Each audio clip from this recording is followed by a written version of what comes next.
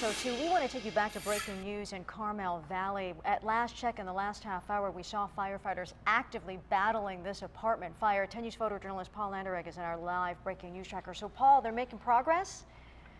Yeah, they called the knockdown about 10 minutes ago. This is the 12,000 block of Delvino Court, going to be east of the I-5 and south of the 56. Now, uh, this a two-story apartment. The fire started in the garage.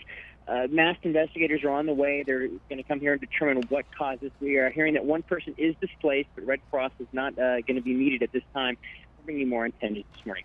Back But, you. but otherwise, everybody's okay. That's what it looks like. There's been no reports of injuries in this fire. All right, thank goodness. Thanks, Paul.